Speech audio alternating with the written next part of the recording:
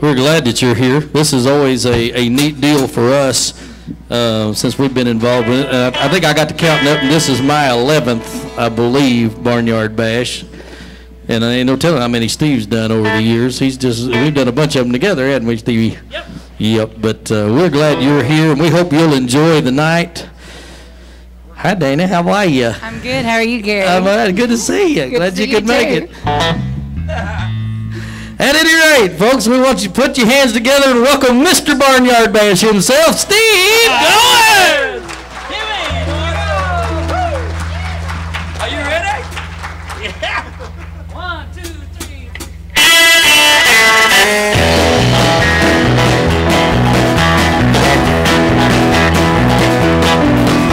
Well, people are coming from miles around down to the Barnyard Bash.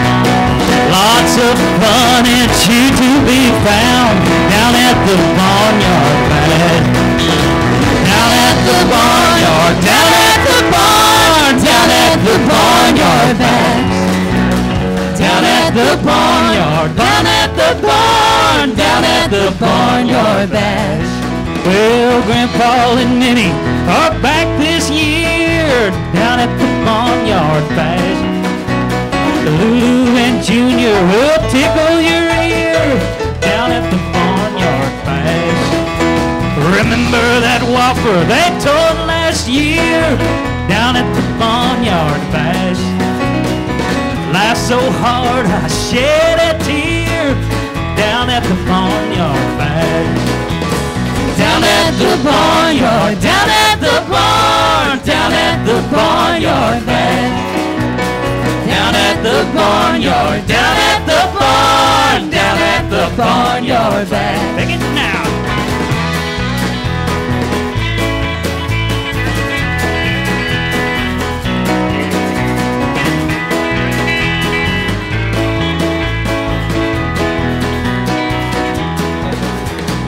Everybody, it's time to begin down at the Barnyard Bash.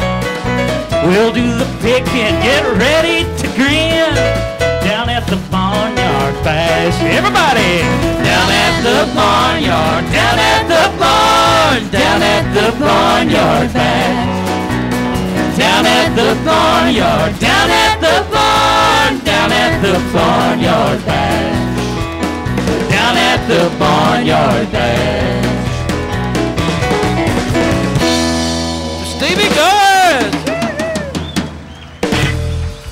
Little ditty he wrote last year specifically for this, and it's only once a year he gets to use it. So we want to make sure that we that we get to do it to start the show. We got a lot of really good entertainers this year.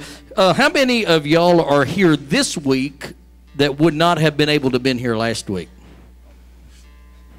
There's a few of you that, because of the, the snow that, that plagued us last week and postponed it, were able to come. How many of you are not here tonight that would have been here last week? That, that, I know there was a few of you. I saw one way back here in this corner. Uh, the, you know, you never know how something like this is going to work out. But we're glad that you could be here, and, and God has given us a real good night. I think we're going to have a real good time together. We got some real good singers. Uh, a young fella coming out to sing uh, that's uh, is doing a lot of recording and writing, and this song that he is that he is about to do, and I think he wants to say something about it before uh, before he uh, we start it. But how about a big hand for Mr. Cody Knoll? Thank y'all. How's everybody doing? Everybody doing good? Uh, some of y'all might not know, but this past summer I lost my father. He was killed and uh, had a pretty big effect on me. And this is a song that I sat down one night and decided I'd write. So here we go. One, two, three, four.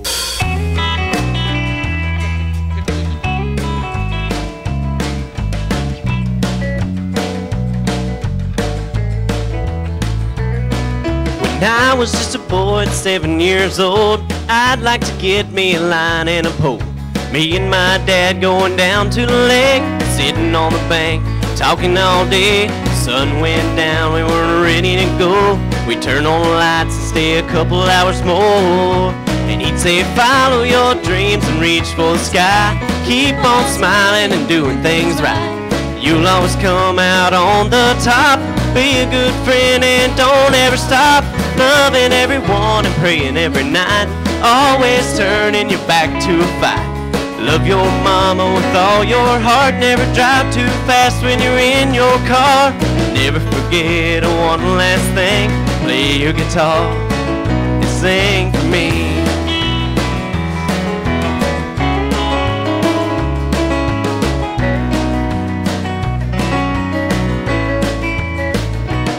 Well, he stopped at a truck stop late one night to get him a drink, and eat him a bite. Stranger walked up to shake his hand. Turns out he wasn't half of a man.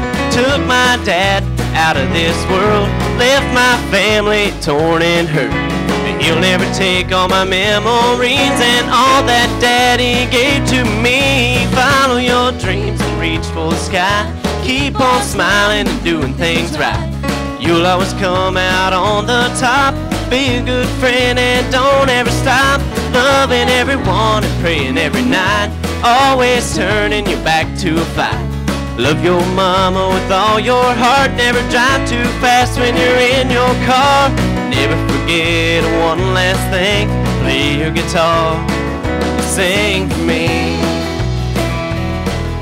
Taught me young, wrong from right told me to stand up for what was right.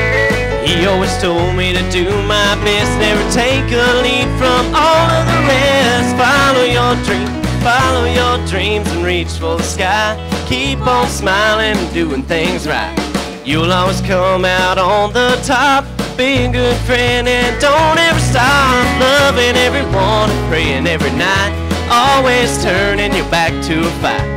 Love your mama with all your heart. Never drive too fast when you're in your car. Never forget one last thing. Play your guitar. Sing for me. Yes, sing for me. Daddy, sing to me.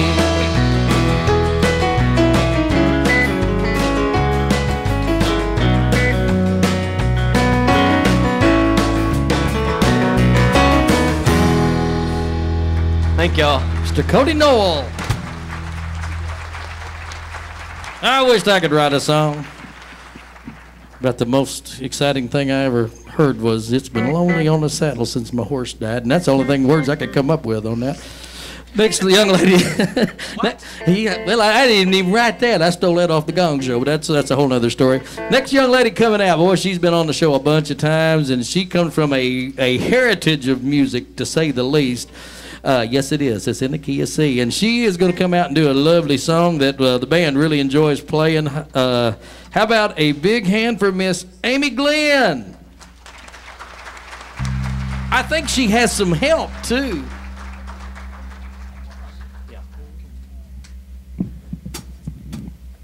She does have some help. Last year, somebody sat in the audience and cried because their brother was up here. So this year, she's going to sing. And this is the first time we've ever seen, so y'all cross your fingers. But, anyways, here we go, boys.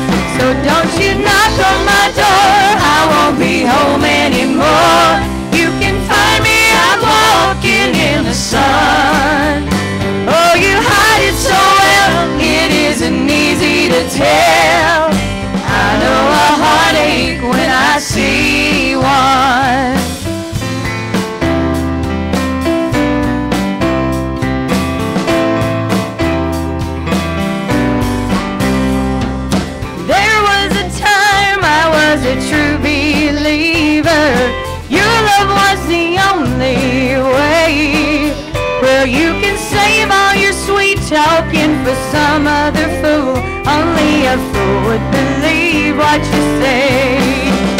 So don't you knock on my door, I won't be home anymore. You can find me out walking in the sun. Oh, you got it so well, it isn't easy to tell. I know a heartache when I see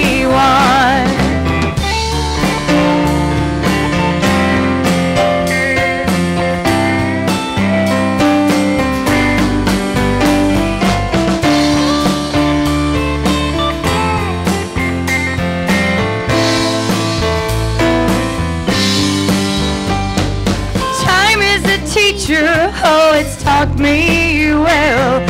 The loser is the one who cries. Well, you can save all your crying for someone else. Only a fool would believe what you say. Don't you knock on my door, I won't be home anymore. You can find me out walking in the sun. Oh, you hide it so well, isn't easy to tell. I know a heartache when I see one. Don't you knock on my door, I won't be home anymore. You can find me out walking in the sun. Oh, you hide it so well, it isn't easy to tell. I know a heartache when I see one. Oh, baby, I know a heartache I see one.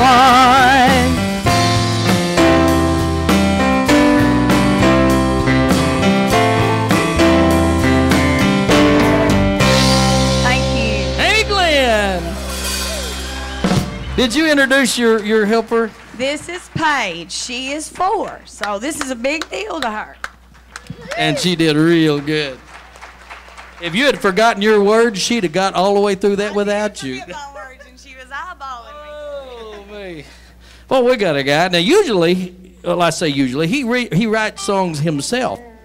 But uh, he's chosen to do an old standard country song that we like real well. Boy, I tell you, he, he likes to sing. If you get him on the phone, or if he gets you on the phone, I should say, he'll keep you there till next month. Say, let, let me play you one I just wrote, and he'll start like like you're listening. You know, he'll, he'll just sing and sing and sing. But he loves music. How about a big hand for Mr. Frankie Haller?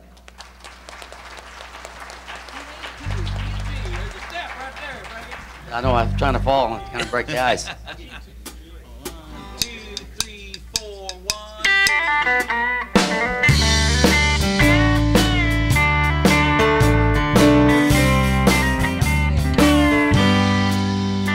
Operator, please connect me to 1982. I need to make apologies for what I didn't do. I sure do need to tell her that I thought the whole thing through. And now it's clear that she is what I should have held on to.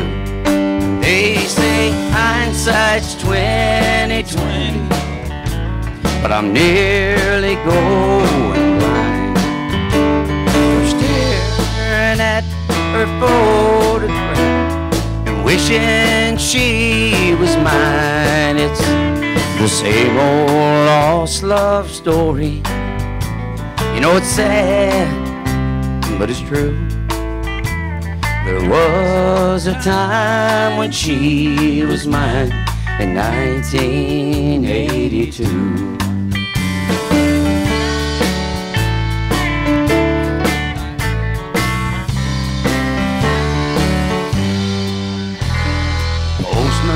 Can you tell me a special kind of stamp? One to send a letter from a crazy lonely man back into my wasted years of my living past. I need to tell her now I know how long my love will last. They say hindsight's hindsight's 2020, but I'm nearly going blind from staring at old photographs and wishing she was mine. It's the same old lost love story.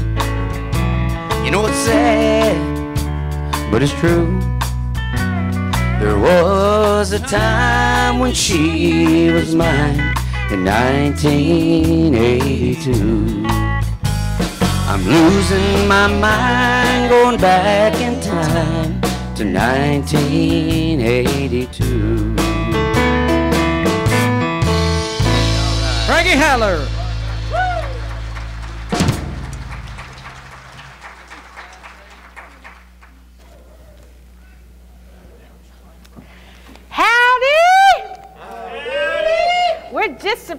To be here, aren't we, Uncle Hiram? Well, yes, we are, Minnie. I'll tell you, it's nice of you to come visit with me tonight. Thank you. Oh, you're you're looking good, but I can see under that hat that there's quite a bit of gray hair there. Well, yeah, well, Minnie, I think that makes me look more distinguished. Well, it does. It distinguishes you from the younger looking men. Oh, Minnie? oh, no, I won't be mean to you because I'm so glad that you came to visit tonight. You know, Grandpa's gone. He's down there in Little Rock. Oh, did you hear that he's leading a march around the Capitol? Oh, yeah. Oh, yeah, for that bypass, you know. He's going to straighten out them politicians. Good for Grandpa. Oh, he is. And he told me a little secret. He said while he's down there, he thought he might have some plastered surgery done. Oh, yeah. Yeah, well, he had some bone spurs growing out of his head. Oh, yeah? Yeah, kind of like little horns, you know. Yeah. Yeah, well, uh, it, what's he going to have those taken off or what? Well, yeah, but uh, you know, it's kind of close to the brain because Oh, well, it's do you think that'll hurt his brain? Oh. Well, I don't think so. Grandpa said that the good thing about getting older is that your brain cells are at a manageable size now. Oh, Grandpa. Oh, I tell you, I like to got a ticket coming here tonight. Oh, really? Oh, I did. That officer said, when I saw you coming around that bend, I thought 45 at least. I said, now, officer, this hat always makes me look older. well, I'm glad I didn't get a ticket because I got a ticket last week. I had a little fender bender. Oh, is that right? Oh, yeah. I hit this guy on his bicycle. Oh, my. Yeah, well, those things are hard to see, you know. Oh, yeah, they are hard to see. They sure are. Well, did you, did you honk your horn and, and warn him? Oh, no, I didn't honk my horn. The front of my car said Dodge. I didn't know. Oh, my. Well, you know, I got in a little fender bender myself on the way here tonight. You did? Yeah. We're just bad drivers, yeah. I guess. I hit one of those politicians on his way to an ice cream social. Oh, they're out everywhere. Well, doesn't look like it hurt you none. No, I didn't get hurt, and, and, and the politician didn't get hurt either, but, Oh, you know, his airbag went off. It did? yeah. That sounds a little redundant, doesn't it? Now, what, what's that mean? An airbag in a politician's car. Oh, well, that's true. That's true. You know, like I said, them politicians are out everywhere, this being election year. That's you know. right. Well, Junior bought a farm recently. That's hard to imagine that Junior got the money together to buy a farm, Yeah, but he is. did. And so, busload of them politicians were careening around the corner the other day, ran off the road, ran into Junior's field, and hit a tree. Oh. So Junior heard it, and he went down there, you know, and saw it all. And so he just started digging a big hole. And uh, so pretty soon the sheriff came to investigate and everything. And, and so he asked Junior, well, where are the politicians? And Junior said, well, I buried them. And uh, sheriff said, well, were they all dead? And Junior said, some of them said they weren't, but I didn't believe them. oh, Minnie, that's, that's my. funny, you know. oh, personally, I'm against uh, political jokes. Yes. Yeah, uh, too many of them get elected to office. Oh, that's true. Yeah. That's true. Well, you know, like I say, Junior bought that farm, and nothing's been going right for him ever since. Yeah, I heard he almost got sued last week. Did? I didn't hear that. Oh, yeah, yeah. This big lawyer from one of those big cities. Yeah. Uh, he was hunting uh, on the place over there next to Junior's, and Yeah. he shot a duck, and it fell over there on Junior's land. Oh. So he climbed through the fence, and he went over there to, to pick up that duck, and about that time, Junior came along. Yeah. And, uh, and uh, he said, what, what, what do you think you're doing? And he said, well, I'm picking up that duck I shot. And Junior said, well, I'll have you know this here is my land, and that there's my duck. Yeah. And boy, I mean, that lawyer, he got mad. He said, I'm going to sue you. I'll see you in court. And Junior said, Well, you're in Arkansas now, and we settle things differently here. Uh, what we do here in Arkansas is we each take turns and we give three kicks to each other just as hard as we can. Oh, I've heard of that three kick drill. Oh, yeah. And so Junior commenced to, to give him his three kicks, and, Yeah. and that last one was real hard. I mean, the old lawyer fell down in a cow pot. Oh, no. Oh, yeah, he got up. Oh, he was a mess, you know. Well, I he said. Well, it's my turn now. And, and old Junior said, Well, that's all right. He said, I give up. You can have the old duck. Oh, my. well, I went by the cafe the other day, and Junior was just sitting in there all glum, you know, so I asked him what was the matter. And he said, well, you know, he was trying to harvest his popcorn crop, and he Oh, was yeah. out there. Well, the weather was so hot, that popcorn was just popping right and left, you know. Whoa, yeah, that's Oh, bad. Well, yeah, but uh, that wasn't the worst of it. Oh, Junior well. said the worst of it was that his mules were so stupid, they thought it was snowing and lay down and froze to death. Oh, my. Oh, Ah, my. Yeah. Well, you know, that must have been a day that I drove by and uh, Junior was standing out there in his field and, and he wasn't doing nothing. Well, that's not unusual. Yeah, well, uh, I said, well, Junior, what are you, what are you doing? He said, I, I'm trying to win one of them Nobel Prizes. Oh. I said, really? He said, yeah. He said, I heard they give Nobel Prizes uh, to those that are outstanding in their field. Ah, that would be Junior. yeah.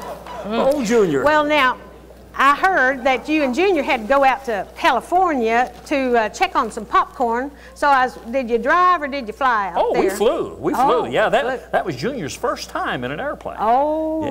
really? Yeah, we had to stop several times to, to refuel. Yeah. And I, I saw Junior looking out the window, and he'd, he'd watch that truck. Refu- you're refueling us, you know? Yeah. And uh, so, uh, well, anyway, we got to California. We had to make a lot of stops. And, Yeah. and I said, Junior, I said, we, we made pretty good time, even though we had to stop all those times. And Junior said, yeah, you know, that fuel truck did pretty good, too.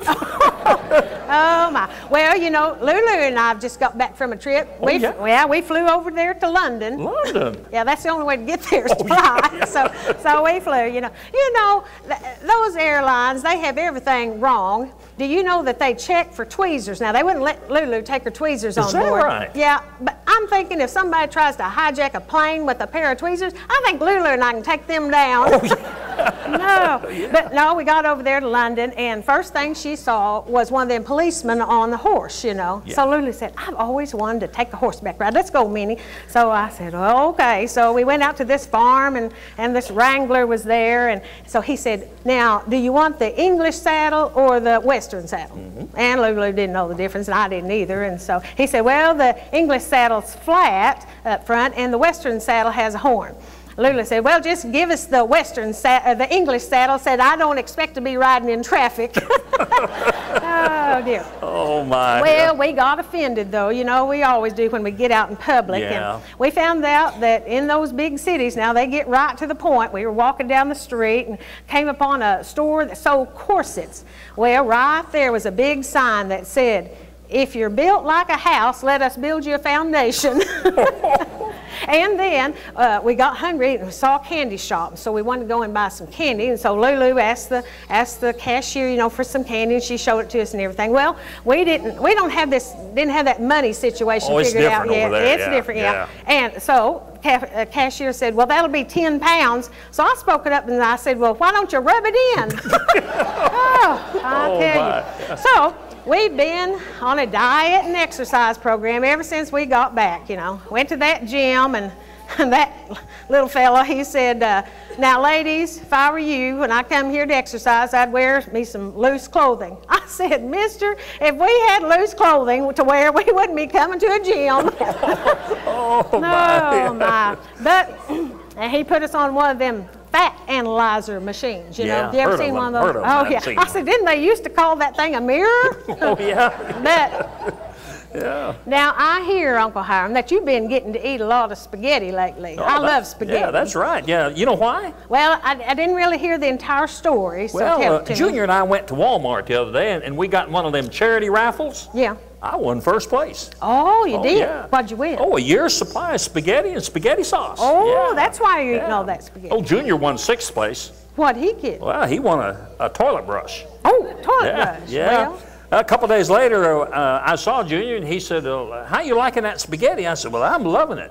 I said, "How are you and that toilet brush getting along?" He said, "Well," he said, "Not very good. In fact, I'm thinking about switching back to paper." Oh, oh I tell you. You know, oh me, oh Junior.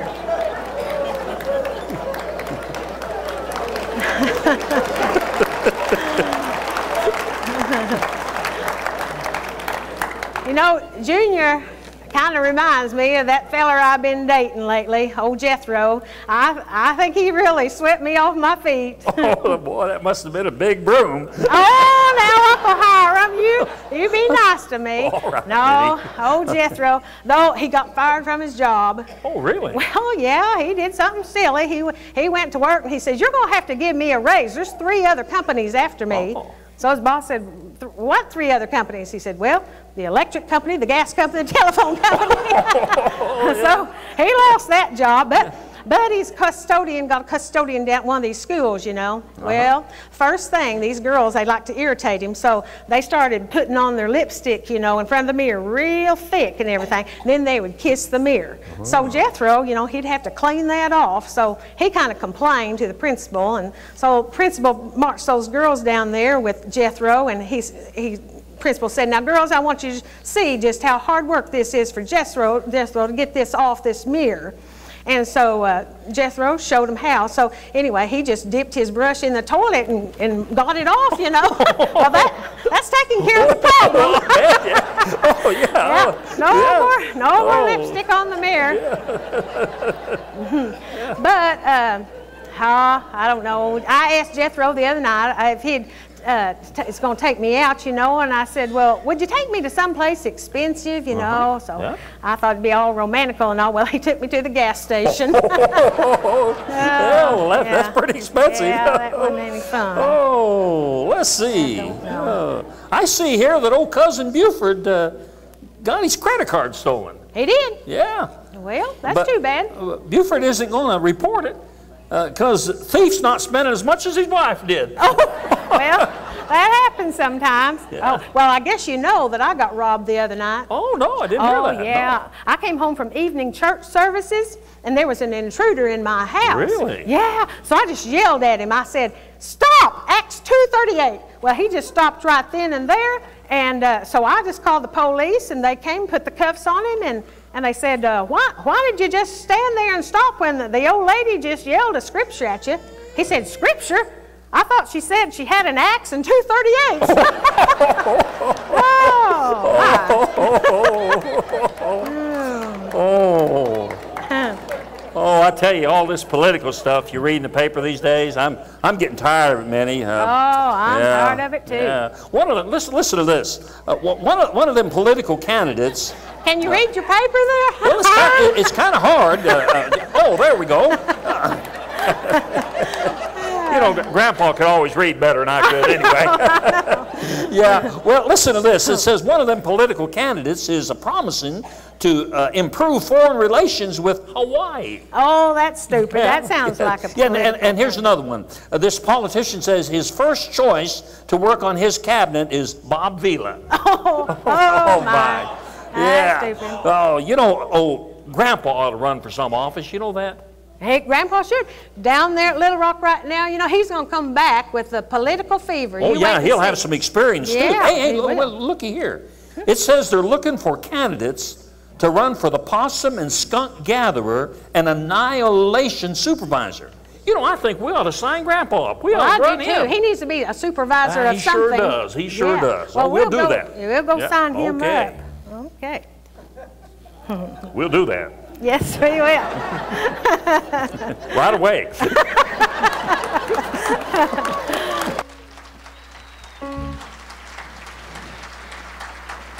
When you've been standing in the dark as long as we have, it looks like the, the sun coming up over Bono when those lights come back on, especially when they're not supposed to come back up. But at any rate, boy, I tell you, there are some people that know how to make a dramatic entrance. You know what I'm saying? Some people, they just know how to cut things down to the wire. And this next young lady, as of three minutes ago, wasn't here. But it just so happens that she came in just in time to sing her song. How about a big hand for Miss Angie Penny?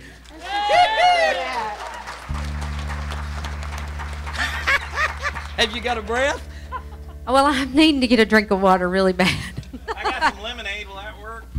If you're not sick, I'm not sick. I just went to the hospital today. I have water. Did I drink that? I'll take just a little Oh, bit of water too. Everybody have some lemonade.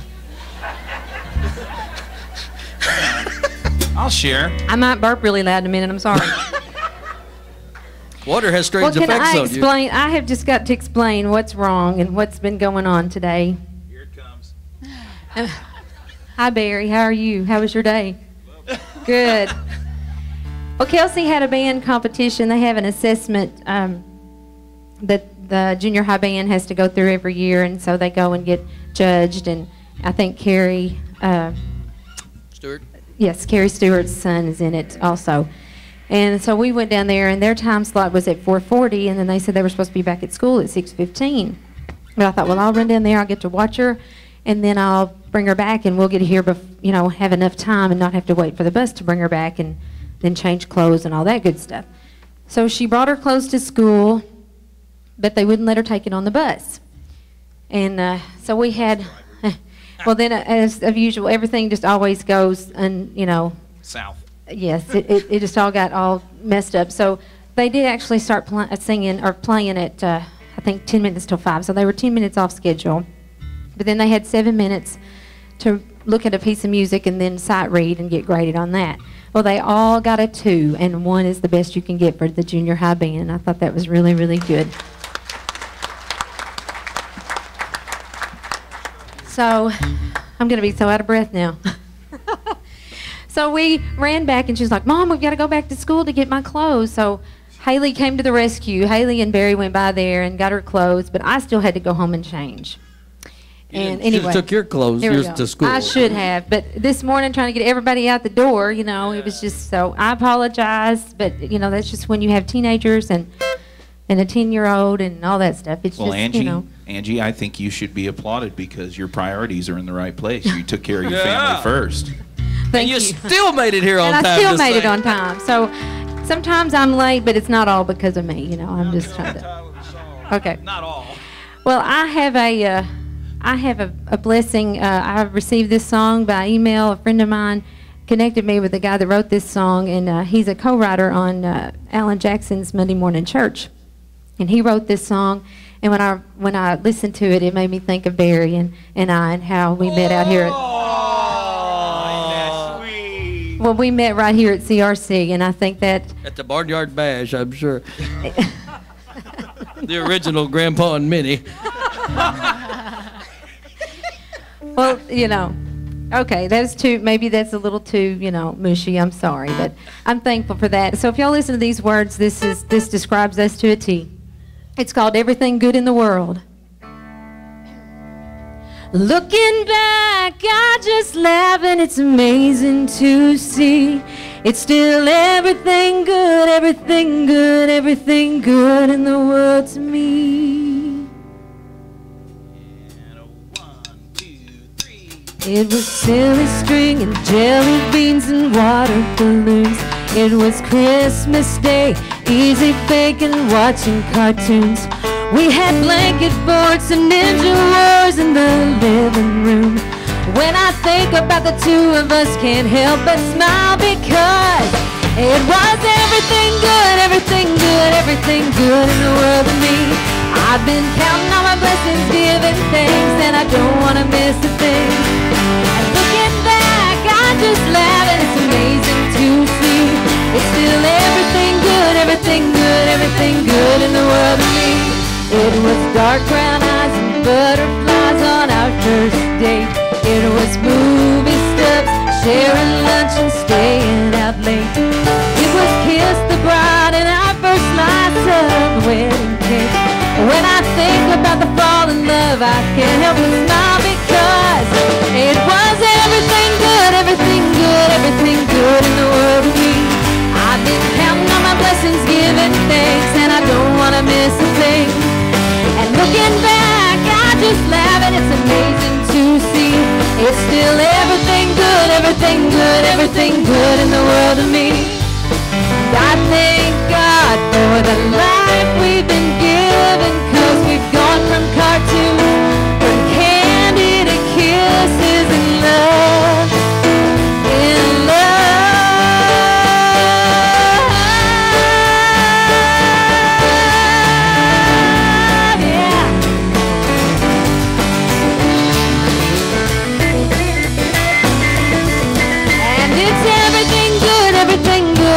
everything good in the world to me. I'm still counting on my blessings, giving thanks, and I don't wanna miss a thing. And looking back, I just laugh, and it's amazing to see. God gave everything good, everything good, everything good in the world to me.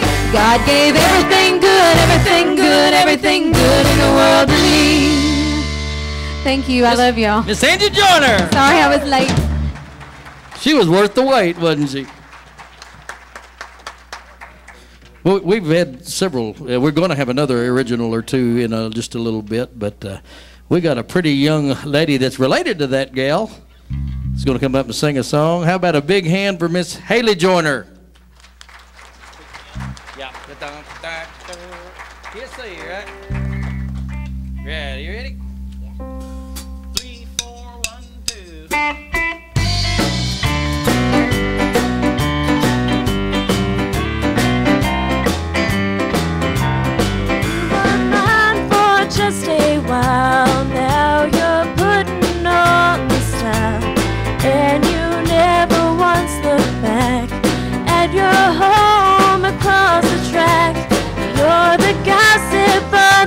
Town, but my heart can still be found where you toss it on the ground. Pick me up on your way down. Pick me up on your way down when you're blue and all alone. When the glamour starts to bore you, come on back where you belong. You may be and but they'll find another toy and they'll take away your crown. Pick me up on your way down.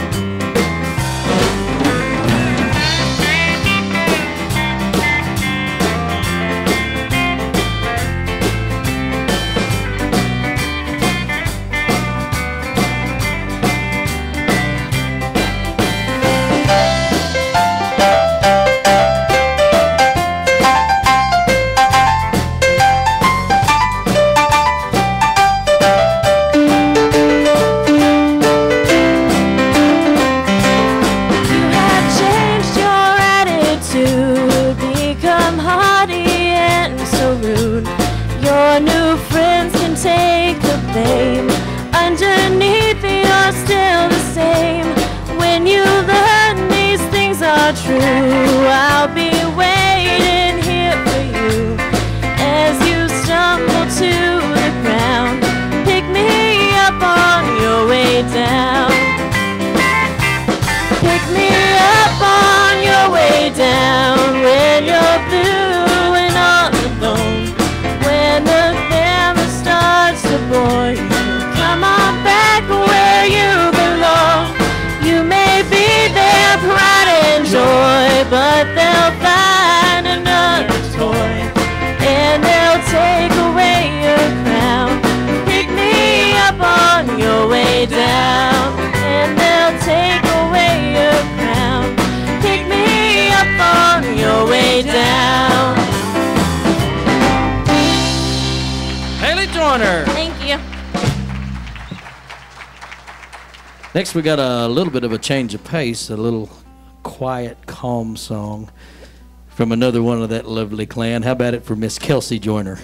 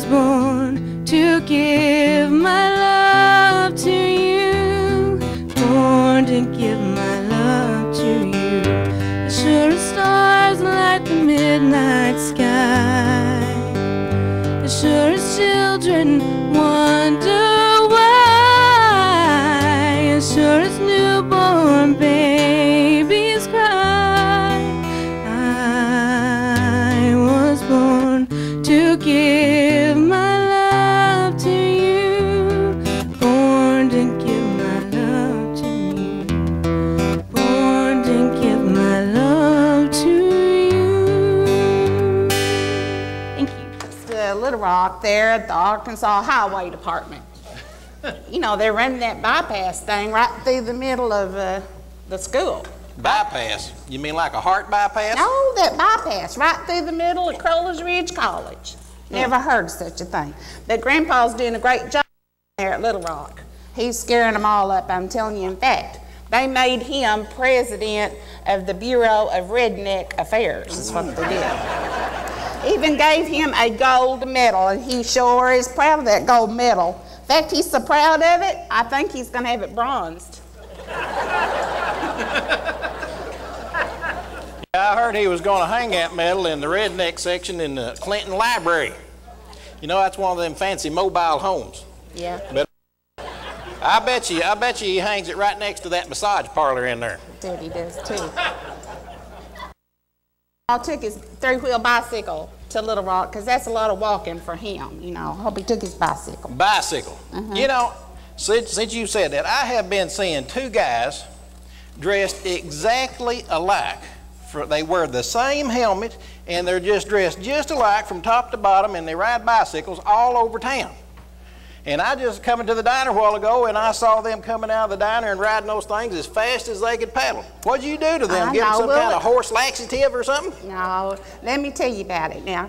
They were the nicest young men. Two men, two little young men on bicycles, and they had their black pants and white shirt, little tie, you know. And they come in and they said, "Can I talk? Can we talk to you for just a few minutes?" And I said, "Sure, boys, y'all come on in." And I gave them cookies and I made some sweet tea and everything. And I said, after they rested a minute, I said, "Now, what do you boys want to talk about?" And they said, "We don't know. We never got this far before." So I said, well, I got something to talk to you about. And I went to the, to the storage room to find my Jule Miller film strips. And they were pretty dusty, you know, but I got them all out and I got them into the diner. But before I could show it to them, they were gone. I guess the light bulb, you know, I guess it's, it's good that they, they left because the light bulb was burned out. And I got to figuring the light bulb on that Jule Miller film strip projector was 41 years old. No, age ain't what burned that light bulb out. That's right. Grandpa borrowed that thing and put it in his chicken incubator. Grandpa used my Jule Miller film strip projector for a chicken incubator. He sure did, but he didn't get to sell not one chicken because them little birds, instead of going cheep, cheep, cheep, all they could do is just sit there and look with a straight look and go beep, beep, beep, Well, that explains a whole lot because, you know, I remember that. That was a long time ago. And it explains why those chickens drowned. I guess they're trying to baptize each other. Well, I hadn't read the paper today. Let's see what's in here. Oh, here's a good gift certificate right off the bat. You can get your pet spayed or neutered for just $5. That's a pretty good deal. Well, it's a good deal if you're not the pet. Here's an ad uh, Mildred Kennard is trying to get people to sell Amway. It says here, sell Amway and let Amway change your life. Now, I don't know how Mildred can say that Amway changed her life. I know for a fact that woman has never been on a train. Hmm.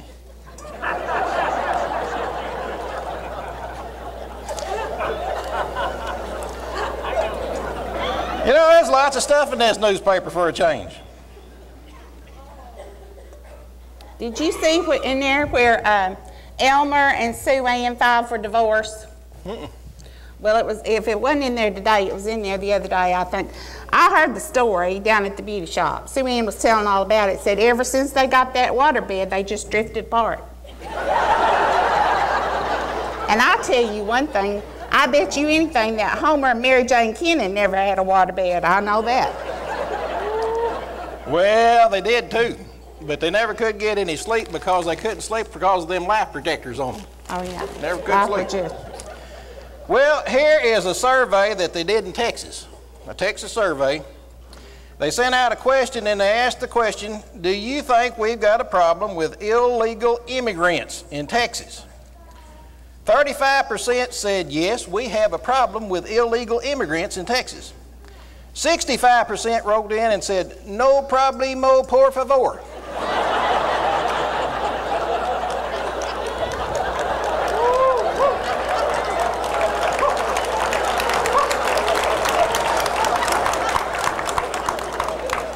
That was almost as good as a toilet paper joke. you know, I've never seen so much stuff in here, uh, news about all these political elections. Everybody's running for some kind of office. I know it. I am so tired of this election stuff. You can't turn on the TV or the radio without hearing some kind of a election speech or a debate. That's just awful. You know, we don't need politicians that know how to debate. They just tells you they can argue. We need politicians that can make a decision. That's what. And everybody knows I get enough debating around here with you in the diner. Debate, debate, debate.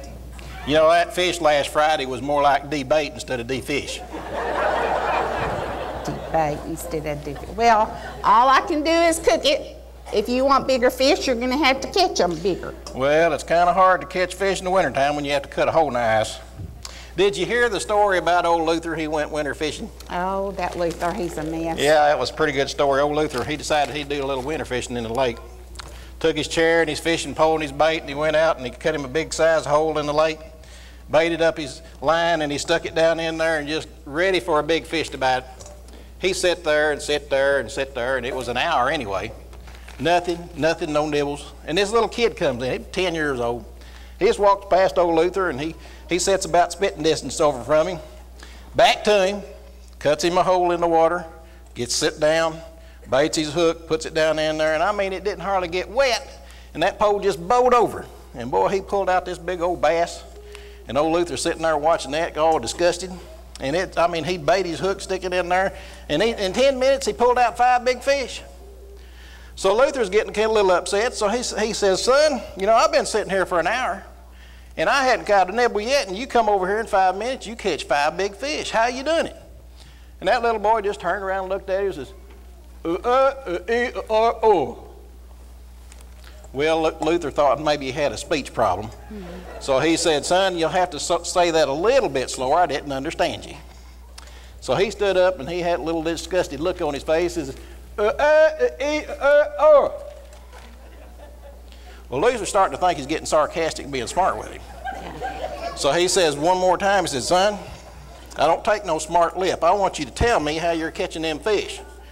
And that boy just spit in his hand and he would held his hand up. He says, You have to keep the worms warm.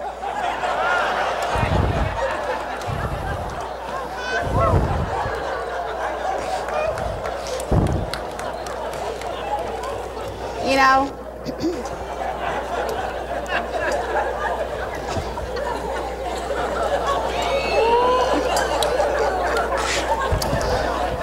have never trusted Luther. I heard tell the story from the barber shop when they finally trimmed his beard, they found an old french fry. I don't trust him. What you making there? What, this? Yeah, that. What you making there? Well, this here's your breakfast. You gotta be kidding. That don't look like nothing I'm gonna eat.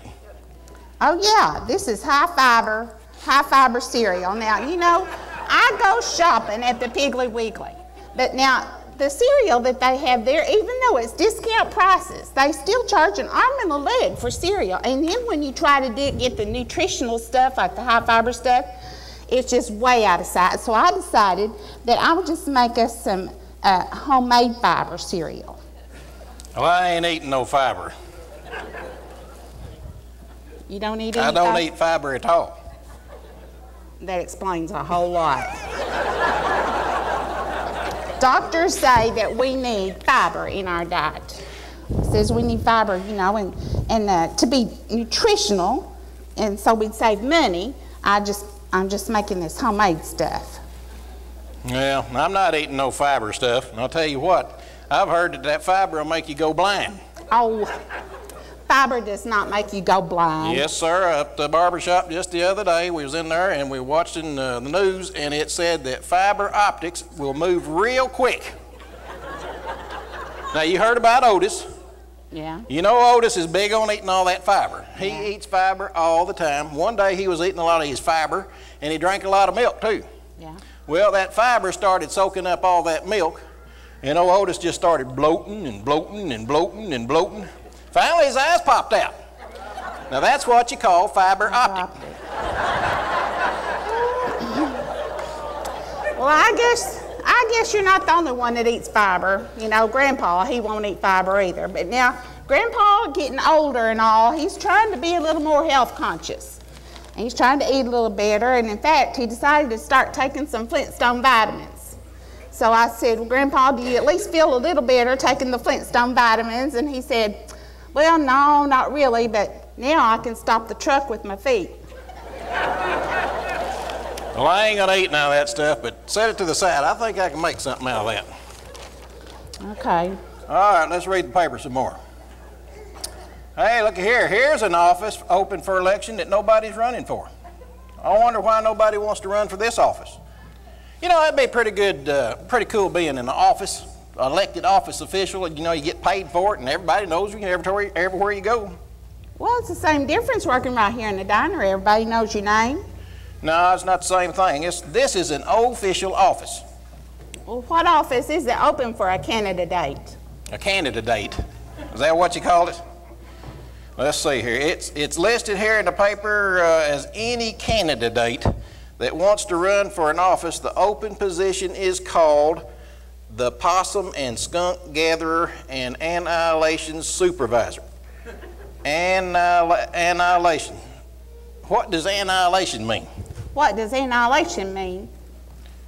Well, if you'd gone to school like I went to school, you would know what annihilation means. Well, what does annihilation mean? Well, annihilation mean annihilation comes from the root word annihilate. And what does annihilate mean? Well, annihilate, annihilate, annihilate, annihilate, annihilate, hibernate, annihilate, hibernate. Sounds like hibernate. Annihilate, hibernate. That you know, they sound like probably about the same thing. Annihilate, hibernate. Hibernate. Yeah, Well, you know, I think I could do that. yeah, that would be right down your alley. That job. Yep. Running for this office is sounding better and better all the time. Gathering up possums and skunks and then hibernating. You know, Lillian gave me this book. Lillian down through the library, she's, she's cleaning out the library, and she gave me this book because she said I was the most likely person to need it. It's called Skunk Attack Stink, Stank, Skunk, Skunk 101 Ways to Dilute Skunk Spray from Your Person. Way number one use 25 gallons of tomato juice in a soaking tub. Good grief. Now I'm going to have to plant my whole two acre garden in all tomato plants just to take care of the stink. I ain't going to stink. This is a supervisor's job. I'm going to supervise stink. I know all about supervising stink. Says here there's going to be a political rally down at the courthouse on Tuesday. Everybody that's running for office can come, say their speeches, then everybody can vote. It's called the Tuesday Caucus. Well, that's got to be a misprint. It ain't a caucus. They mean carcass. a caucus is what you do to a leaky bathtub. Yeah, that's right. That's a caucus. Yeah, Now, this political rally thing, this is a carcass. yeah. You're probably right about that. And there are two meanings to the word carcass, like something that died. Yeah, same, Same difference. difference. Yeah. You know, all this political talk just makes me want to fix that new recipe called uh, politician soup. Politician Uh-huh, soup. I haven't made it yet, but it seems to be real simple. It's just one great big chicken and lots of hot water. also, you know, Minnie Pearl and I went to the, join that jazzercise class downtown to get some exercise, and they had this this exercise down at the jazzercise place called politician dance, and uh, it, it's really good exercise. You take two steps forward and three steps back, and then side step, side step, and turn your back. Politician dance. Well, that sounds like you'd be pretty good at that, Lulu. Yeah. Down at the Tuesday carcass. Yeah. You know, I think I'm going to run. If you're going to run for office, just tell me what in the world do you think you're going to wear? Well, Lulu, it ain't what you wear, it's what you say. And besides, I made something out of that fiber stuff you had. You I got a nice looking, see, you can make a vase out of it, Oh yeah, well that's kind of pretty. Yeah. or you can wear it like a hat, like this. Yeah. Or you can wear it like a hat, like this. And you really think you're going to win an election wearing that? Yes, I do.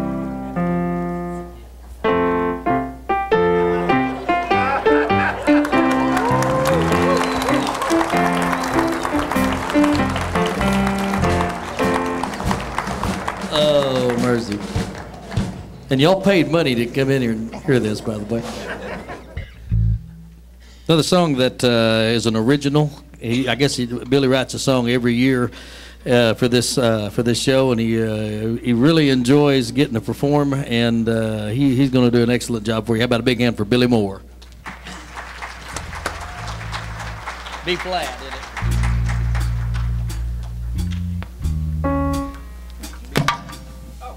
that loud enough?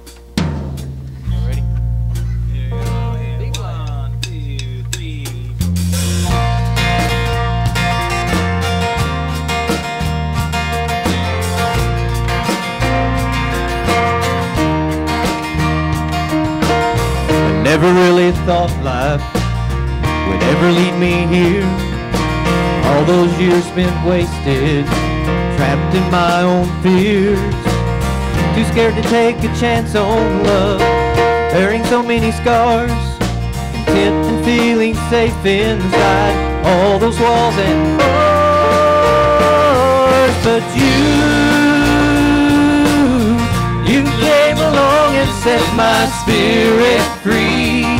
Then my heart could see that you were everything my heart had ever dreamed you'd be.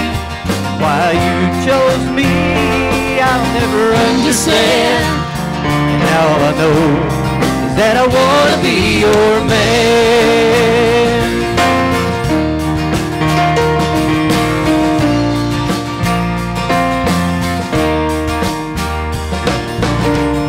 So strange to think this way after all this time and not be able to explain with words exactly why. It's just the things you have to say and what I see inside. Your gentle touch, your loving heart has made me feel alive. Cause you, you came along and set my spirit free. Then my heart could see that you were everything my heart had ever dreamed you'd be. And why you chose me, I'll never understand. And now I know that I wanna be your man. I wanna spend the rest of my life with you. I wanna be there through the good times and the bad times too.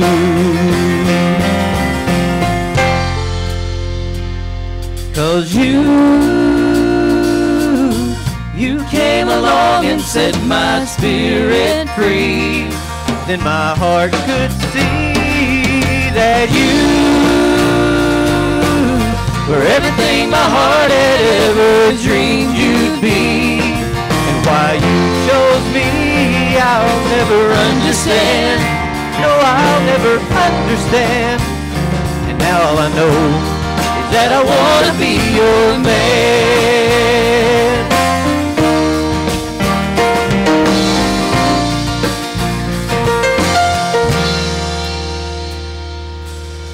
I never really thought life would ever lead me here.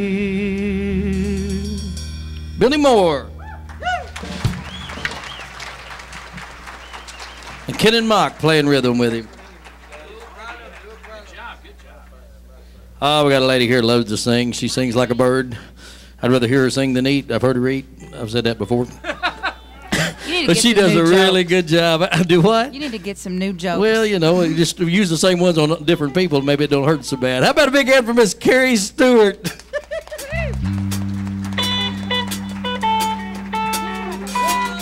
How y'all doing tonight?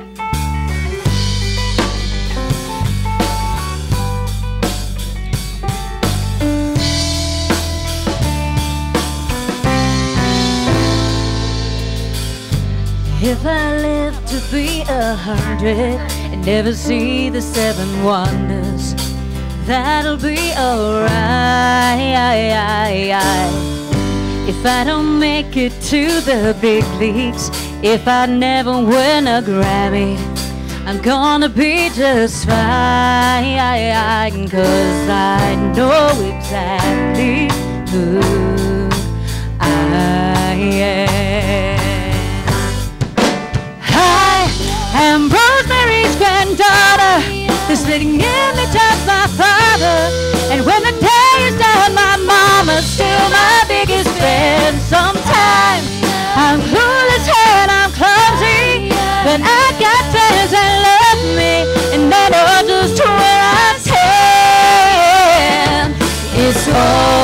part of me, and that's who I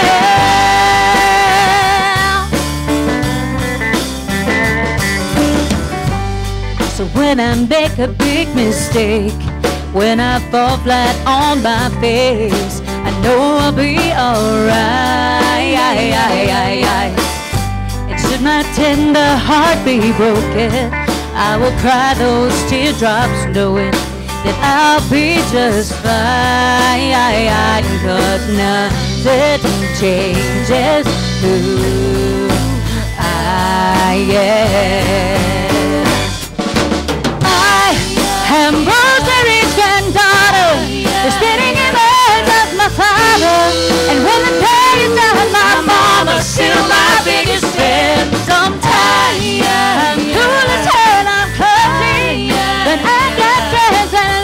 me, and they know just where I stand. It's all part of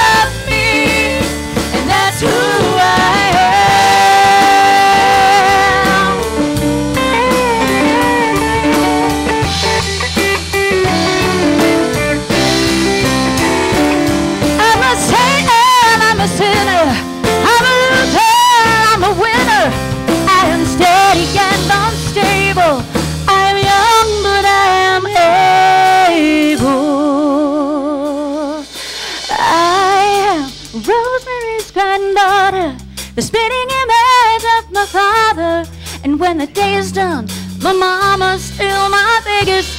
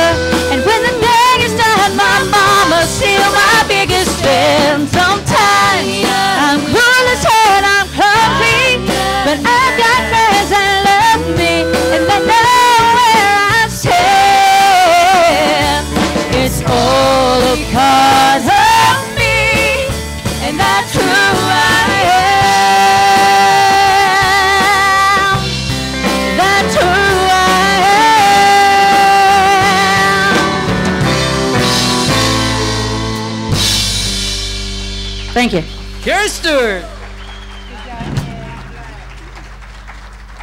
Oh, we got a guy coming up here to close out this first half. That, uh, well, I, I appreciate him playing with us the last couple of years, and uh, he he is uh, he's a builder of amplifiers. He's a picker. He's a preacher. He's a carpenter. He he can walk. He can talk. Chew gum at the same time. He crawl on his belly like a reptile. How about a big hand for Mr. Barry Joyner?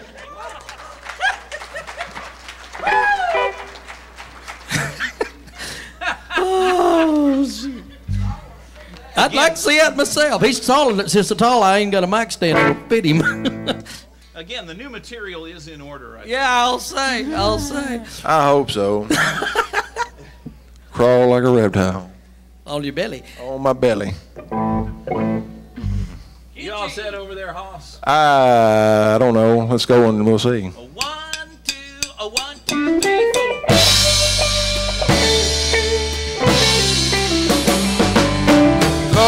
I was born a rambling man, trying to make a living and doing the best I can.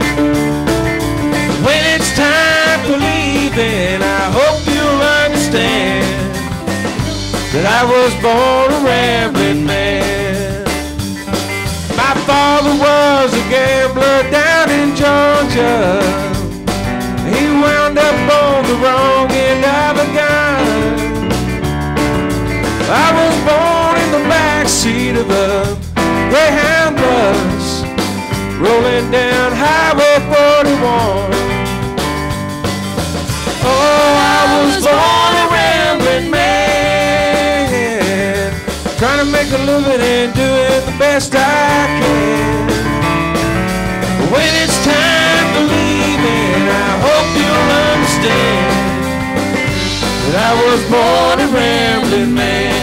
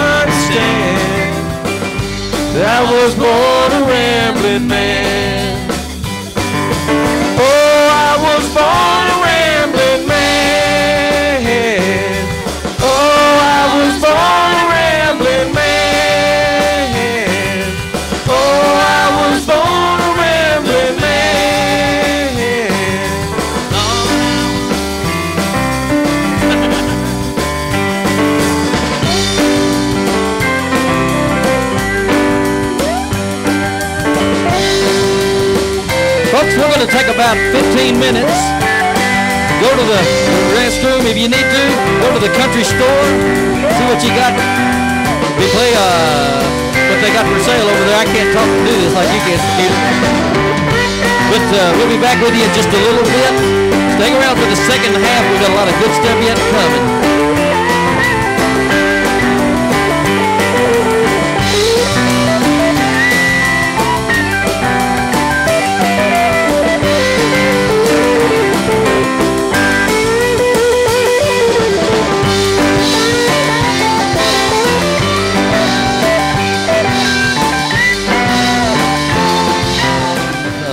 Going to do a song about a trucker that's about to quit.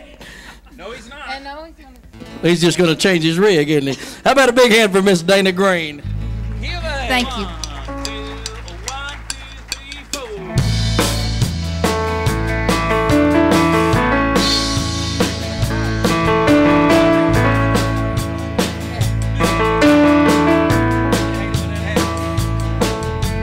Charlie's got a gold watch. Don't seem like a whole lot. After 30 years of driving up and down the interstate. And Charlie's got a good life. And Charlie's got a good wife. And after tonight, she'll no longer be counting the days.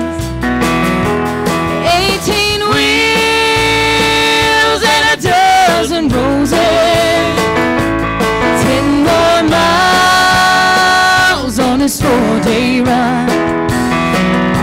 A few more songs on the all-night radio. And he'll spend the rest of his life with the one that he loves.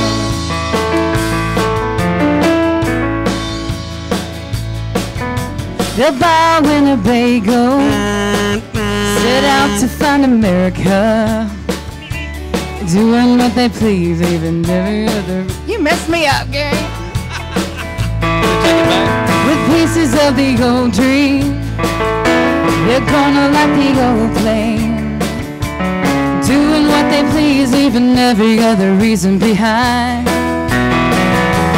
18 wheels and a dozen roses. Ten more on this four-day ride.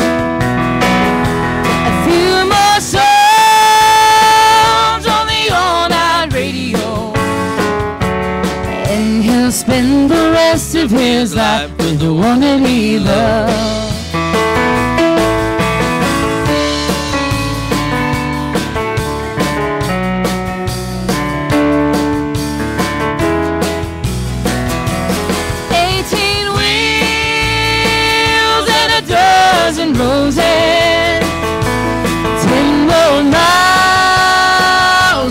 Miles on his four-day run. A few more songs on the all-night radio. And he'll spend the rest of his life with the one that he loves.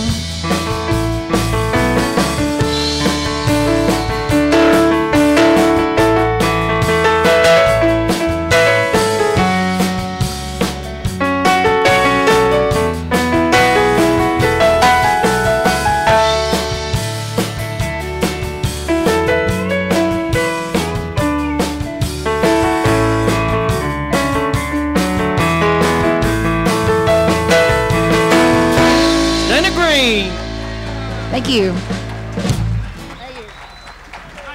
This is one of the blessings of postponing a week. Dana couldn't be here last week. Craig Morris was going to play with us, and he's got this other little gig that he does. Is Wish I had nothing real big. He just plays piano for Loretta Lynn. And he's in Illinois tonight, but Dana could be here tonight, and I'm really glad she could. We got a guy coming up that's, uh, oh, he, he does a lovely job. He knows more about music than, than I'll ever know and has forgotten most of it, especially under the effects of anesthesia. but uh, oh, uh, he, he does a big job at uh, at the roundup when he gets to play down there, and he's just quite a talented guy. He's also the voice of the Redneck Rush Hour on the Fox 104.9 in Jonesboro. How about a big hand for Mr. Skeeter Nash? Thank you, Gary. All right. This is a song written by old Tom T. Hall. He's going into the Country Music Hall of Fame this year, and he uh, he's so deservedly so. This is in the key of C for you playing along at home.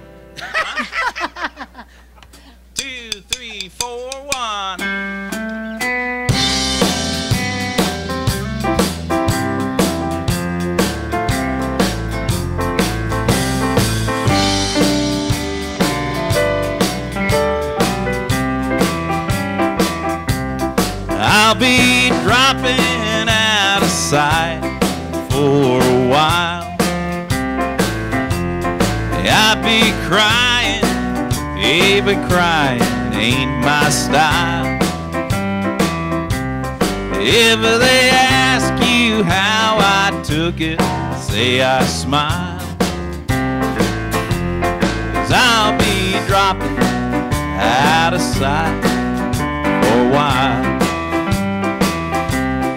This old town can do without me for laughing stock. Since she's gone, I'm in a funny state of shock. And I'm so troubled I could walk a thousand miles. So I'll be dropping out of sight for a while.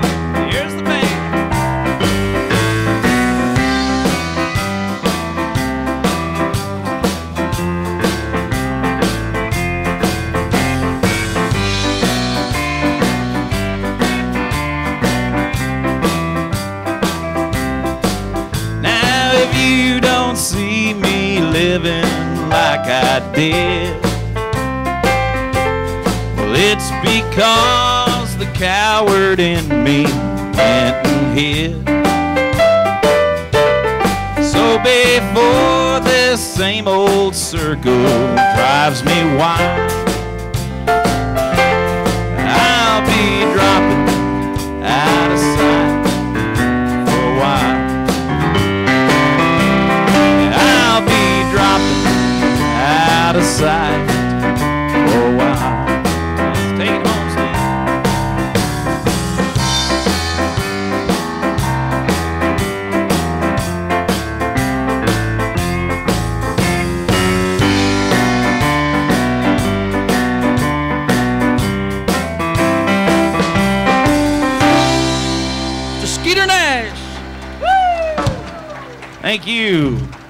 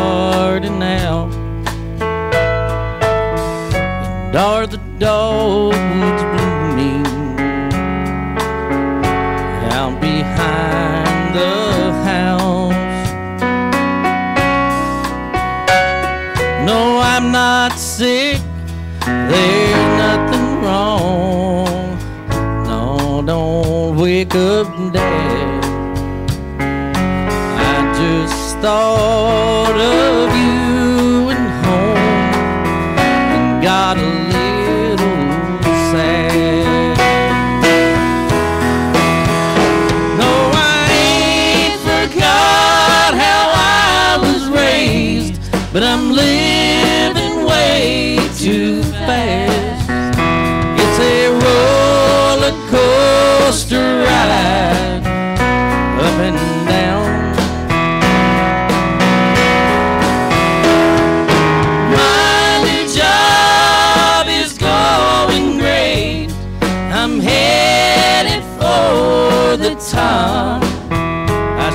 be happy, but somehow I'm not. Oh, sometimes I think the devil has got me by the sleeve. Oh, mama, don't forget to pray for me.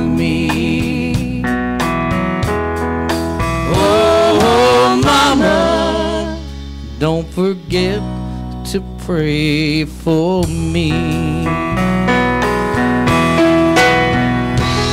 Thank y'all. Mr. Gary Cremines, folks. Now, I know he wouldn't. I know he wouldn't do this himself because he's he's a he's an humble person. Humble, humble. He's very humble.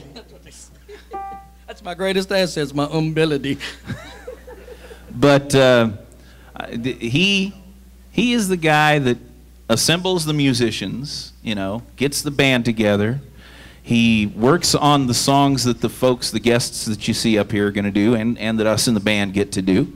He puts together these amazing pieces of paper with these incredible mathematical problems on them that we use up here to follow along on these songs that some of us have never even played before in our lives. So there, there, are, there are little guidelines here. he like takes the algebra. time to uh, work all those up, write them out, copy them out, get them out to everybody, sets up the rehearsal dates. I mean, as far as the everything musical you see going on up here tonight, and he hauls all this sound equipment in pretty much by himself, sets it up, tears it down, takes it out when we're through.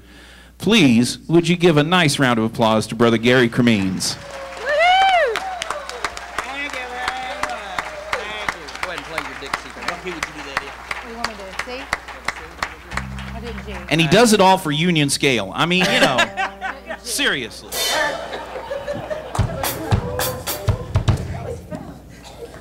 Lulu, couldn't you wrote the whole thing out on that sign? What, you mean possum and skunk gather and annihilation supervisor? Yes. Well, it would take a sign as big as this whole room. So what I did was I just did the initials. But do you realize it says pass gas? It Says what, like,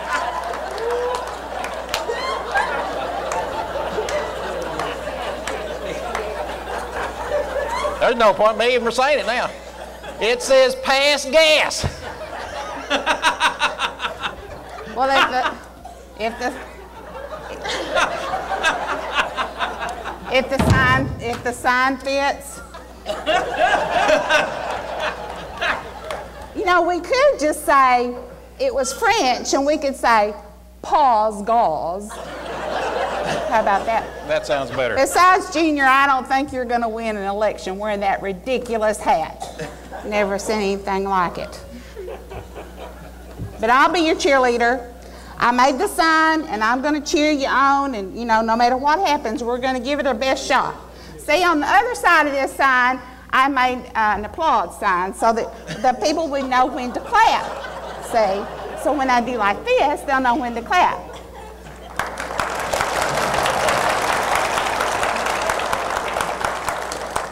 They apparently aren't very, you know, half of them are asleep, so let's try to get.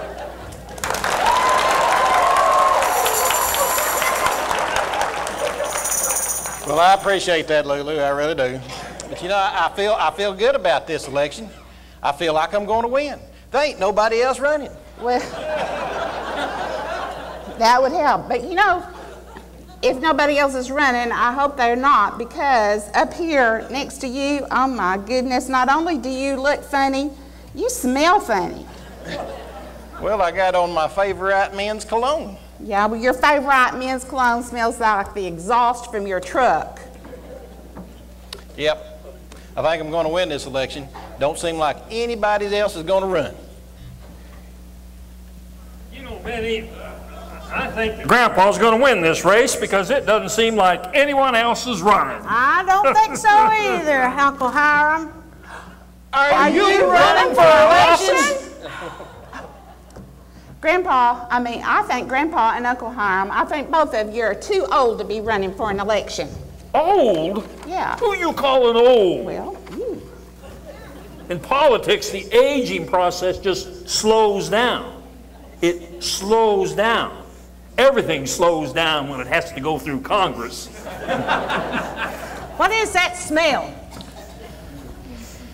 Grandpa, oh, Junior, he's wearing his favorite cologne again. Oh, well, it smells like there's some kind of exhaust coming from that hat. Oh, wish I was in the land of cotton, not up north where the cottons run. Look away, look away, look away, Dixieland. Oh, no, another contestant? It's getting crowded in this here election. Who in the world are you? I am Professor Cleghorn. Beauregard Cleghorn, that is. And I am, I say, I am not running for this here office. Good. Well, that's good. That's good. I am, however, I am overseeing the affairs of this here political rally and debate. I am the best at presiding over this debate because a Cleghorn always says what he means and means what he says. See, Junior, he wears a normal hat. That ain't a normal hat. This is my spare hat. I wear it in my spare time. that's, that's a joke, son. Pay attention. Be alert. Don't let them get by you now. Junior wouldn't get a joke if I told him all day. I could tell jokes till I was blue in the face. My dear, you look very good in blue. Well, you look kind of familiar. Did you go to school over there at Stanford? No, ma'am. I went to school at Yale. Yeah, Yale. He Did he say Yale. Yale? Did you go to school at Stanford? I declare, you don't have to yell. I am a Southern gentleman. The key word there being Southern, if you don't mind. I hate the North. Why, there's nothing good that comes from the North. Is too. My Aunt Matilda lives in Chicago. She does. Yes. I declare, all the rivers run south because they like it down here. I propose that the whole country be south. Move the Mason-Dixon line up around the Great Lakes of Canada.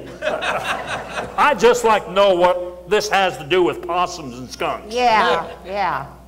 I have, I say, I have the rules of this here political debate right here in my pocket. This is, I say, this is the political caucus for this new office. that's, a, that's, that's, that's a rhyming thing, isn't it? I'm a southern poet and didn't know it. That's a joke, son. Pay attention. Good evening, ladies and gentlemen. It's time to begin the debate for this here office of possum and skunk gatherer and annihilation supervisor. Only two candidates are running. Two candidates. Let's give a hearty welcome to Junior on my far right.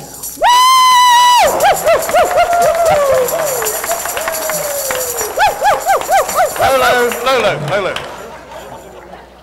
And now to my immediate right, Uncle Hiram, who is campaigning for Grandpa Jones. Let's give a big hand Hey, for Grandpa! Hey! Oh, Grandpa! Each of you candidates will have two and a half minutes to tell why you think you are the best person to serve as the possum and skunk gatherer and annihilation supervisor. Now, by the way, that's a possum and skunk gatherer and annihilation supervisor of this here county of Green. Okay. Now, let's decide who's going to go first. Pick a number between 1 and 10. Six. No, the number was 3. I'm sorry. Seven. No, I said the number. Boy, that boy's dumb as a chicken, isn't he? boy, I tell you what, the chicken hawk's gonna get you, boy. I said three, Junior. Oh, I think this thing's rigged. I do too. Okay, Ain't okay, hey, I'm gonna go first. Uh, since my brother, uh, Grandpa Jones, is out of town fighting the Arkansas Highway Department, I will say what Grandpa would say if and he were here. That's right. Uh, he wrote it down here, what he would say. uh, Grandpa says, I will be the best possum and skunk gatherer and an annihilation supervisor because the main thing is my great uh, philosophy of life. That's right. Uh, This philosophy has got me through many situations in life, and, and, and that philosophy is That's right. of many. What's a philosophy? I don't know. Um, anyway, that the philosophy uh, is uh, eat one live toad the first thing in the morning, and nothing worse will happen to you the rest of the day. That's right. That's right. Yay! Good. Good. That was good. That's a good one, Uncle Hiram. and Grandpa Jones uh, would be the better person for this office because he's older and got more experience than the junior here. And if for some reason the job required him to go to Washington, D.C., uh, that'd be okay with Grandpa, but Junior, Yeah. he wouldn't want to go to Washington, D.C. Oh no, he wouldn't do that. That's way up there by Oregon. That's right. That's right. And, and, and Grandpa has been a gatherer of possums and, and skunks even before Junior was born. Oh, That's yes, right. Yeah. He knows everything there is to know about possums and Everything, skunks. That's right. He skinned them. Uh, he's eaten them. Uh, Yes. He knows where they live. Uh, He knows uh, what they do. He knows how they think. He knows how they stink. Uh, uh, he knows that if you're lost in the woods, all you got to do is find a possum and follow him, and he'll lead you to a road somewhere. That's right. right. That's right. And, and he'll make sure that every dead possum and skunk in the county that's lying in the road will be picked up before the street painter paints a stripe on them. That's right. That's right. That's And, and, and even if Grandpa gets older, he will not have a walker unless that walker has a gun rack on it. That's right. That's Right. Let's hear it for Grandpa. Yeah. Yeah. Yeah. Yeah, Grandpa. All right. Uncle Hiram, that was really good. I'm Thank sure you, Grandpa will be very oh, proud of you. Thank you, thank you. But I say, your time is up. Yes, sir, your time is up. And now it's time for Junior. Junior, go right ahead. Lulu, Lulu. The most important thing that I want to say ask not what your carcass can do for you, but what you can do for your carcass. Lulu. Boy, I sounded kind of like that big back Obama on TV, didn't I? It's not Big Mac Obama. His name is really Tiger Woods, but leave him out of this. Okay. As the possum and skunk gatherer and annihilation supervisor, I know that I would be the best person for the job because we have a plan That's for the right. harvested roadkill. That's right. We promise to get them while they're still warm. That's right. Tastes best when it's fresh off the street. That is mm-hmm. right. If I'm elected, Lulu's Diner will be served at a reduced price meat collected on this job. All right. That's right. In a section of our menu called Roadkill Kill Grill. You can eat it for free if you can guess what it is. That's right. Why are we offering such a special offer, you might ask? Well, I'm going to tell you. Because we know everything there is to know about possums. That's right. Dead possum is the fruit of the woods.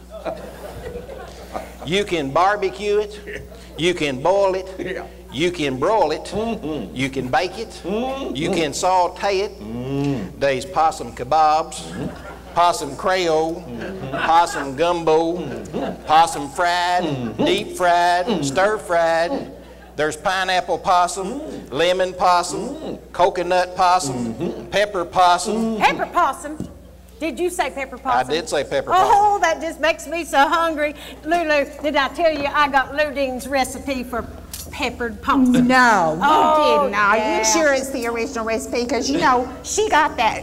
She passed off that uh, strawberry cake recipe. Yeah. She passed it off as her own, and she really bought it at the deli at the Weekly Weekly. Oh, no. Well, I know that this is her own. She It's gave it to me in a moment of weakness, and I think you need it for your diner. Oh, I do. I need it for my diner. Just Well, how does she do let me that? tell you. She she pairs it, you know, she Yeah. pokes it and pairs it and then parboils it six and a half hours in baking soda. And that Oh. takes that gamey taste Well, you out. need to do that. Yeah. need to do And then Yeah. she rolls it in peppered flour, Yeah. dips it in Louisiana hot sauce, rolls it in peppered flour again. Mm. Yeah. Oh, then she deep fat fries it, oh. puts it in the crock pot. Wait and- a minute. Wait a cotton picking minute. This is a political carcass. right. And you gals are talking about recipes? Talk about it later. There- There's no time to talk about recipes. Get back where you belong. Junior, go ahead. possum soup, possum stew, uh-huh. possum salad, Yep. possum and potatoes, Uh-huh. possum burger, mm-hmm. possum sandwich, mm-hmm. and that's about it.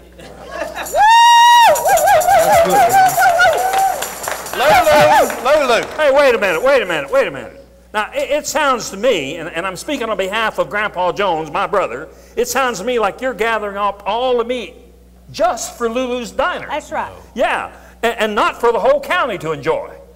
Now, Junior, how do you answer that rebuttal?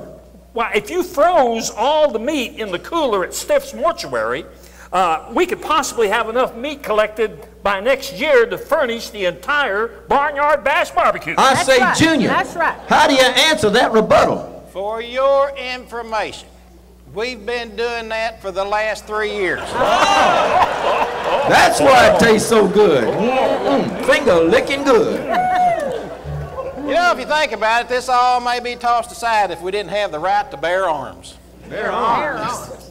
Bear arms. Man. Some of us got too much flab to bear arms. Let's forget that. That's right. Amen. All I'm saying is that it tastes twice as great when it's slapped on a plate. Yeah. Mm. Tastes really neat when it's fresh off the street. Yeah. Gotta be tried while it's still in the hide. You, you'll eat high on the hog when you try our dead dog. You'll get the chicken that didn't make it cross the road. Rack a raccoon and awesome possum. Shake and bake snake and swirl of squirrel. Anything dead between two slabs of bread. Chunk of skunk and a smidgen of pigeon. Out of luck duck and road toad a la mode.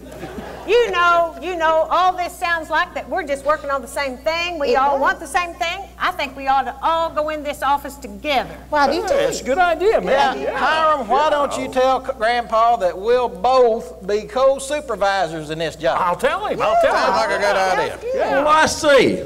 I say there's more than one way to skin a possum. the South did not lose the war. They just called it because of darkness. That's right. That's right. I declare, I declare this election over.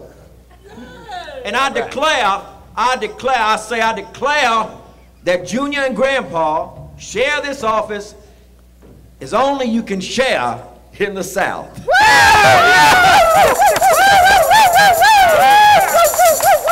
Now, Lulu. why don't we constipate, I mean consummate, why don't we consummate, I say consummate this office with a song.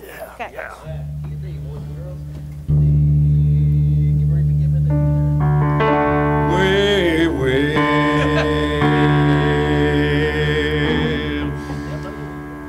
Well, we got the office of pastors down where the possums are. Down where the possums are. Office of pastors down where the possums are. Down where the possums are.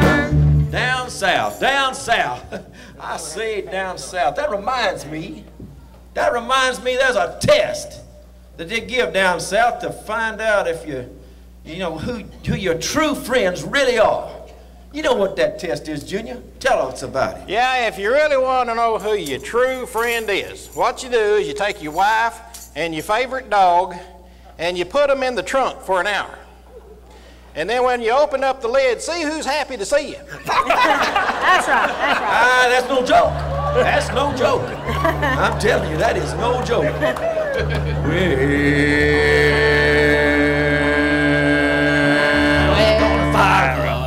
roadkill grill. Down where the possums are. Down where the possums are.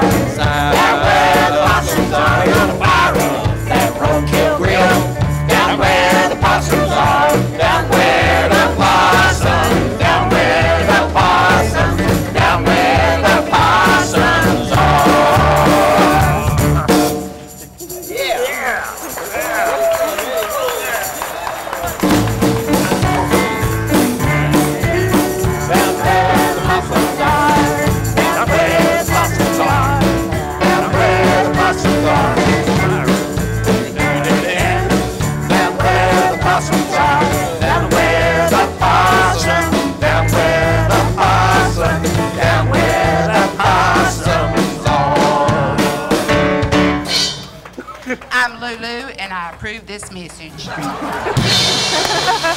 Oh, mercy. I am absolutely convinced that what you have witnessed are four people or five that have way too much time on their hands.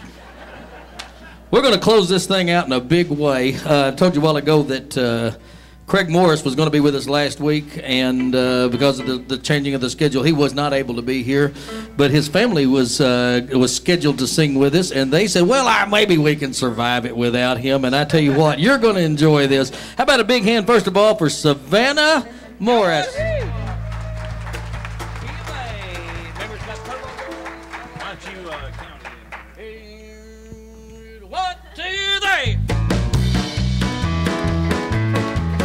I wanna be a cowboy sweetheart.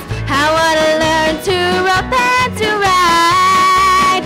Out on the plains and the deserts, out west of the Great Divide. I wanna hear the coyotes howling when the sun sinks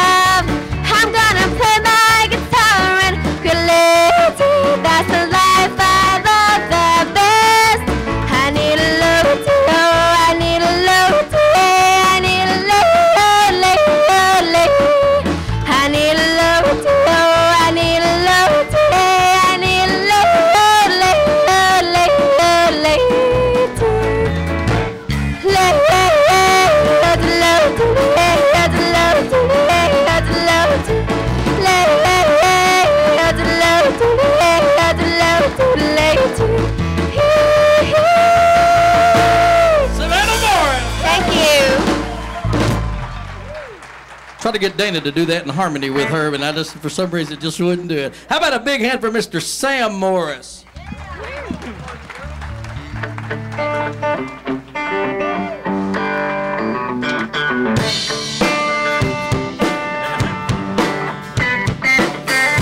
Big wheels keep on turning. Carry me home see my kin. Singing songs about Southland.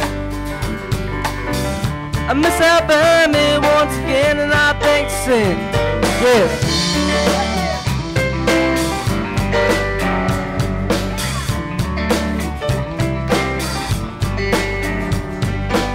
Well, I heard Mr. Young sing about her. Well, I heard O'Neill put it down. Well, I hope Neil Young will remember. A sucker man don't need him around in a house. Sweet home Alabama. Where skies are so blue. Sweet home Alabama.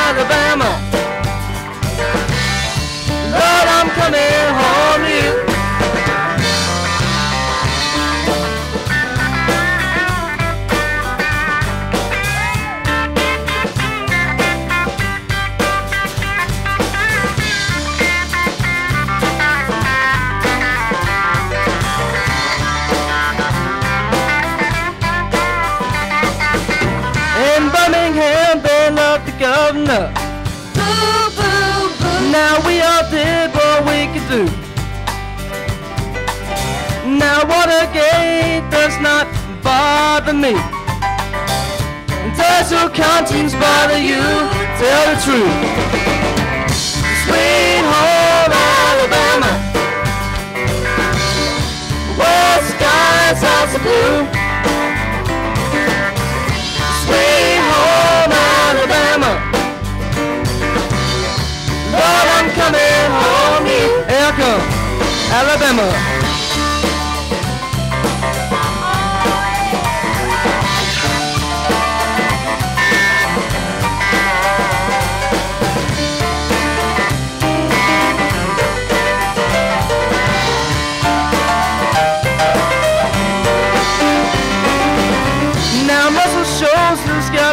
Swampers. And they've been known to pick a song or two. Yes, they do. Lord, they get me off so much. They pick me up when I'm feeling blue. Now, how about you? Sweet home Alabama. Where skies are so blue.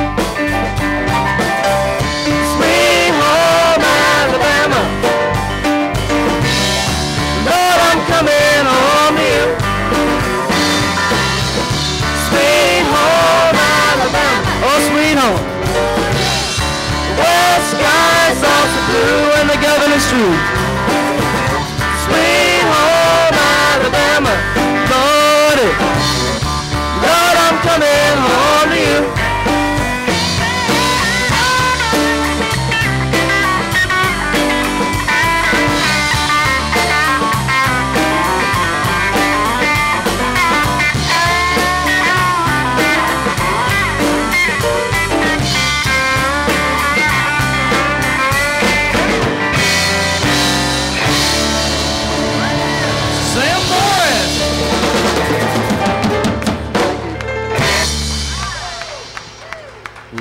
Job, lovely job. I wish Rick Hale had been here. Um, in, in case you don't know, Rick Hale's mother passed away, and that's one of the reasons he could not be here this weekend. And uh, and we y'all be thinking about him, and praying about him. I know he that was the national anthem as far as he's concerned. Well, this lady here. If any of you, have any of you ever heard of Dusty and Dot Rhodes? I tell you what, over the years, I, I was privileged to play several shows with them, and I used to sit back and listen to the harmony of their kids. It's like they were all singing with one set of vocal cords. And this young lady here just happens to be Donna Rhodes, who has sung with lots and lots of big name people over the years, and uh, that's been- been kind of and your co- your career has pretty much hit a peak tonight. I'm certain. Listen, you know what? This is a fantastic band. Don't y'all think so? I think they've done a terrific job. How about a big hand for Miss Donna Moore? Thank you, thank you. It's great to be here. Thank you so much. Great band.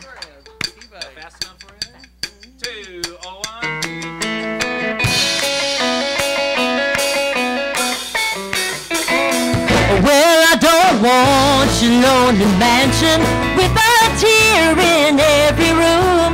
All I want is the love you promised beneath that halo moon.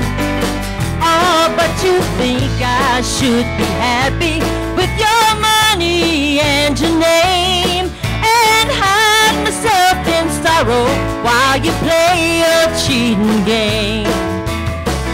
Well, silver threads and golden needles cannot mend this heart of mine. And I dare not drown my sorrow in the warm glow of your wine.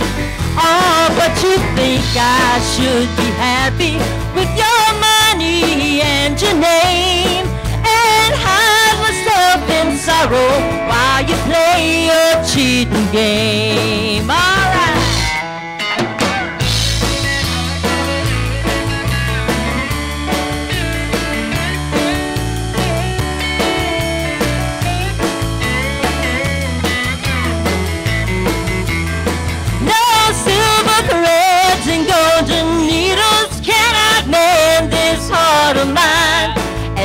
Dare not drown my sorrow in the warm glow